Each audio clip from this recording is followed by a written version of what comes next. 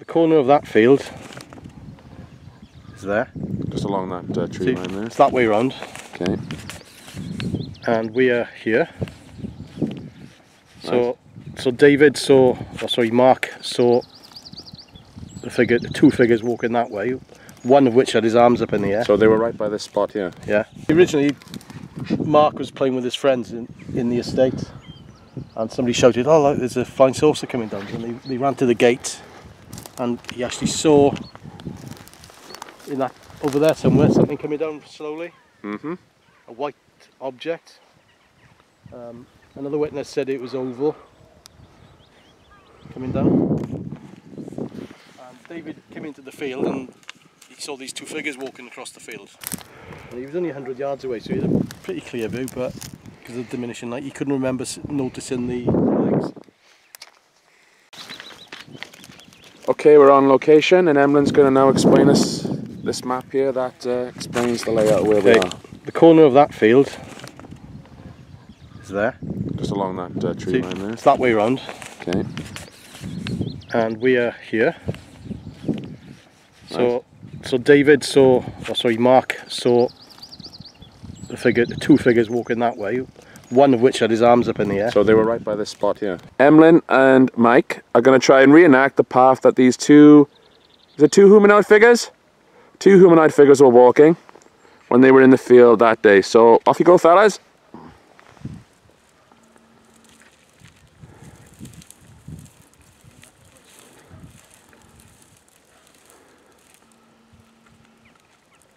So this is roughly the path that they took.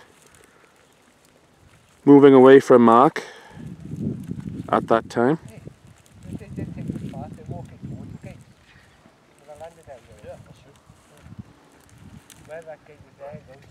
Yeah, smile boys! Do you describe what they were wearing? It was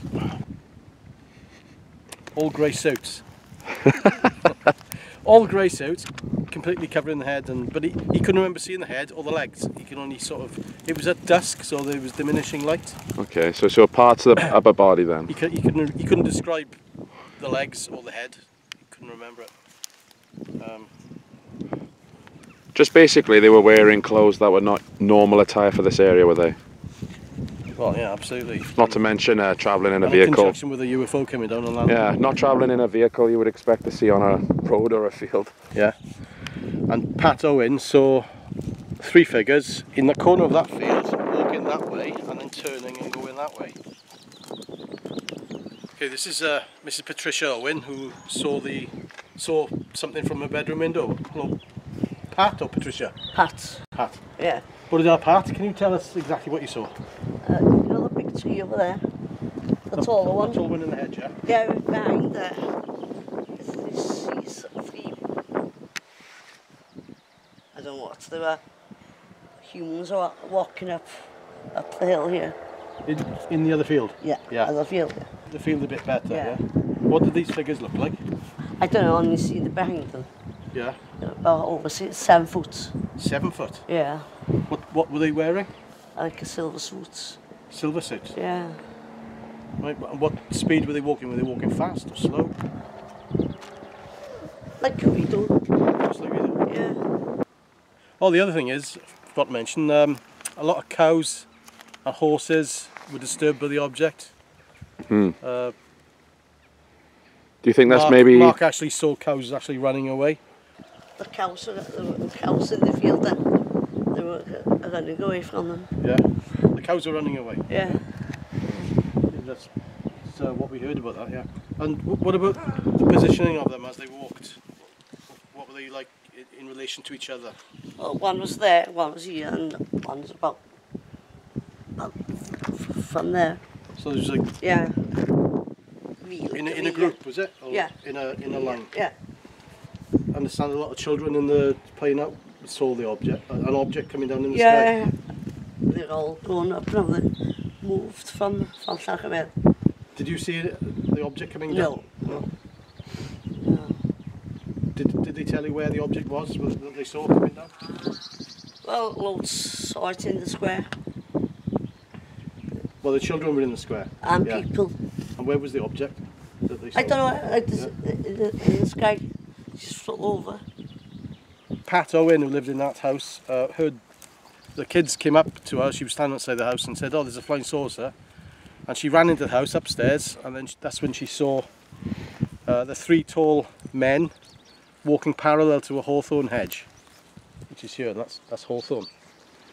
Uh, and she she observed them for two minutes, uh, walking side by side up an inc- inclined field, which is that field there. I mean, again, in it, she doesn't say, "Oh, it was just a farmer or kids messing around." This is definitely something you don't see every day, especially Oh, yeah. in your local I mean, area. RAF Valley is not that far behind, but far away. People in the area are familiar with seeing military aircraft and helicopters flying around. So, makes you think. Mm. And the two boys were living here, ran up, was talking to his, their mother. And I went upstairs with my daughter and then saw, I didn't see the, the silver thing, only the, the after people, or whatever they were, Yeah. walking up. Right. And then uh, I went out. And then we get back, there were helicopters and police everywhere. So the military were Yeah. in the Yeah, area. they said you, you went out to meet your husband, didn't you? Yeah. And they came back and No way I was in the the was, house. place was full of commotion. Yeah. reminds me of Broadhaven to a, a degree because uh, humanoids had been seen in a field. And it's similar, very similar. Similar in what way? What do you? Uh, Well, they like uh, in um, wearing suits and been seen in- in a field. Uh, like the one in Broadhaven was just up from Haven Fort Hotel. And that was a similar case. That was in a field. Timeline 8.15, Mark Hesketh saw the light descending. 2021, you saw the two figures walking across the field. Six foot tall.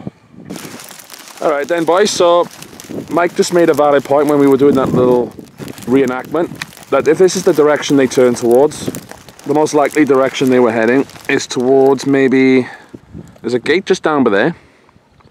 So that's most likely the direction they were heading. Probably, well, most likely back to their craft or means of transport for that day. Right, so this is roughly the field where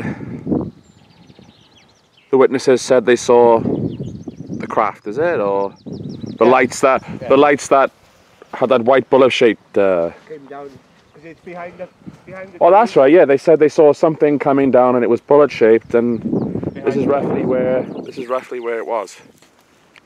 One witness, a boy, 12 years old, Elian Williams. And this eight- eight o'clock in the evening. Okay. He saw circular craft emitting a bright light descending. 15 minutes later, that's when Mark Hesketh and his friends saw this bullet shaped bright white light with a glowing red band around the perimeter, with red lights across the, the breadth of the object. Near, nearing ground level, it, he noticed it had two protrusions, one each side, landing behind trees, which would have been those trees there. It was in that, Okay, that just in the distance there. Yeah. At the same time as, as that, uh, a Patricia Parry, who was 27, living in the estate, saw an oval light, silver white, descending and revolving slowly, uh, moving off to the southwest and descending slowly. So she probably saw the same object. Did you see any um, in the days afterwards? Was did you hear any noises, aircraft or any Can't remember. activity? I used to close the windows about six o'clock every night after that. Did you? Oh, yeah. Your husband told me you were quite shaken up with the incident. yeah. Never seen anything like that before. There was a lot of military activity at, uh, in the two or three days following it. Well, so this is another case This where was the, on fir- 1st of September in the evening, and on the early morning of the 3rd of September, there was a loud explosion heard. again another A witness, a man who didn't want to give his name at the time. So, uh, If we just clarify something, helicopters and lots of activity happening Yeah. down there. yeah, if we just clarify something there, we've um, seen a lot of cases now, all totally different from each other, but a couple of similarities and things that correspond. Military, loud explosions, and lights in the sky, and occasionally, you know, you see um, people, maybe strange people walking in the field, but what it all means, who knows? But Well, It, it, it, it's not something that is something random. There is definitely a pattern to it all, isn't it? There's a good chance that back 40 years ago, some of these houses over there wouldn't have been built. You know, they look, Oh, yeah, that's a good point. you know, so it'd have been less, less people living around here. oh, you're pretty old, dude. Well, those over there, they look Well, quite new. Ones, the two, that one there, that white one there, that's new. The rest of them could have been there. We were talking Yeah. 78. It's not ancient history. Yeah, And there were some investigators come to visit you Yeah, after, afterwards. yeah. People, uh, so a solicitor from America came. Really? Solicitor. Hmm. What did he ask about? He was interested in UFOs. Oh, okay. Are, Yeah. we, are we the first ones to bother you after the event? No, Oh, no, no, no. Oh, there's been a few of the years. Oh has there? yes, loads. Yeah. Uh, they made the film a few weeks ago. The girl living, living here now, she was in the film when she was tiny, acting the parts of the the kids who saw it. Oh, right. Yeah. Was that a British film crew? I don't know whether uh, Do you remember the title of the film? no. We'll have to look that up then. It's 40 years ago, no? Fuck. Because it was yeah, 1st of September. yeah, yeah, Long time. yeah. I've Going out this year. Well, thanks for coming out on a cold morning to see us. Thanks. Yeah, thank you very much. Thanks.